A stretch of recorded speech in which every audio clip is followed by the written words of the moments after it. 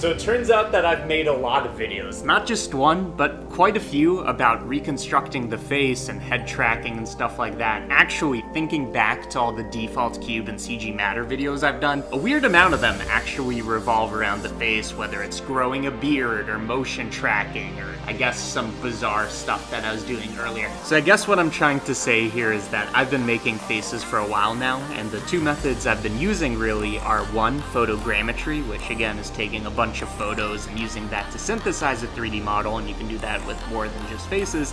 And the second method I've been using, which is a bit more direct, is that KeenTools FaceBuilder uh, Blender add-on, which does a good job at making the face, but it doesn't really get those fine pores and details. So I figured since this is something I've done a bunch of times, let me try it differently, and I'll do it with the Creality Ferret Scanner. Now, if you haven't seen my review from a couple videos back, you can watch that to get all the specifications and stuff about the Ferret Scanner. I basically reviewed it, uh, but the main takeaways are this. You have the scanner head, which has depth sensors and also color, camera information, and stuff like this. You also have a stand that you can actually move it around using that, and there's a bunch of other accessories, but the point is, I want to try scanning my face in a new kind of method. Now something I should say of course is that this video is sponsored by Creality, surprise surprise, Regardless of that, I do think it's cool to be able to scan your face in a level of detail where 3D printing it is something that's possible. So uh, let's try to get my likeness, and this is how I did it. I started by downloading the Creality software. This is basically your interface between the scanner and actually exporting OBJs and 3D models and stuff like this. And after choosing my project file specifications, which by the way, it seems like there's actually a setting for face kinds of scans, so I made sure to click that, I dipped my toes or I ran headfirst into scanning. And basically what you need to know is that in this software you get a depth view where you can see what the Ferret scanner is seeing and then also basically a camera pass which would be the color information. Your goal is to position the scanner at a distance from the subject, in this case my face, where it's not too close, it's not too far away, but it's in that Goldilocks perfect zone. And you need to keep it there for the whole scan. So I actually had somebody help me, my girlfriend, thank you so much for her, for scanning my face, and of course I'm thankful for her for other reasons as well. But uh, this is something that you want the second person to do for you because it's going to be kind of hard to not move your head or your face or make facial expressions as you're doing this. Tiny things to keep in mind if you have long hair like I do or even longer hair, you want to make sure you go like this because scanners in general, and this is also true for photogrammetry and the other methods, don't do very well with this like thin stuff. So you want to you want to move that out of the way. And then also I made sure to keep my eyes closed because it would be very hard to look straight in the same direction without blinking uh, for a very long time. It's possible. I wouldn't do it. So yeah, basically we got onto scanning, and what I found the best method is, is you want to kind of go very slowly. So you're going to go up and down and up and down, almost like you're cleaning a window. And it seems like the slower and more precisely you do this, again, staying in that perfect zone, the more aligned your scan is going to be, and it's going to prevent moments where the scan doesn't know where you are temporarily. So going slow and steady really seems to be the way to go here. Now,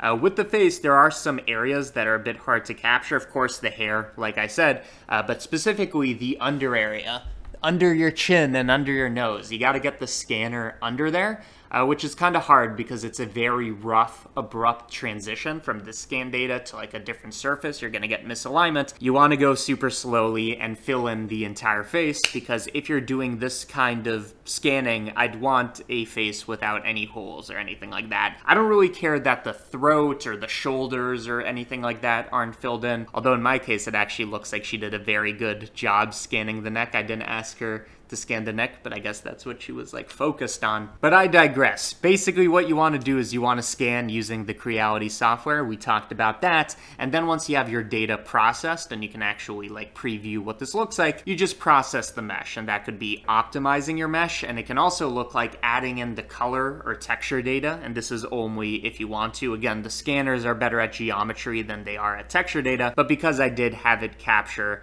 uh, color, I figured why not? Let's throw that in there. And you can see I got a model, which the thing I'm most impressed by is the level of detail in the geometry. All those ugly wrinkles and pimples and pores are there in full display. And this is just something I guess I could export as an OBJ or some other file format uh, into Blender. So that's exactly what I did. I exported this into Blender, and you can see that now this is a model in my 3D space with a material file that actually loads in the texture, which by the way is an abomination because the UV mapping it does by default is very like segmented and it makes a lot of islands. This is some cursed shit. But yeah, I got my model inside of Blender and then to isolate the face, because that's what we're going for in this case, you could scan your own head. What I did is I basically made a piece of geometry, a distorted cylinder, that would kind of represent what part of the geometry represents the face.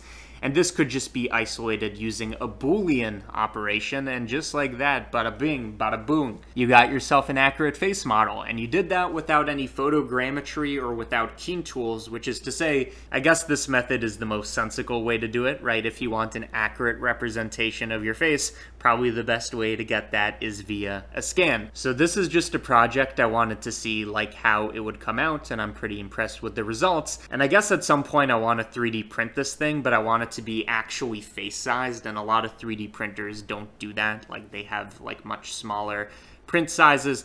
Uh, but that's not what this video is about. It was about scanning your face, and now uh, you could kind of implement a lot of the other tutorials that I've made about like growing a beard or motion tracking and stuff like that uh, with this base mesh. So it turns out that the Creality Ferret Scanner can do this very well, and again, I just want to emphasize this video has been sponsored by Creality and their scanner, but this is an actual result I got with their scanner, and in the world of scanners, it's not that expensive compared to some of these other ones that can go to like near a thousand or above a thousand. There you go, a video. I made it. You watched it. This is the YouTube interaction we made. Goodbye.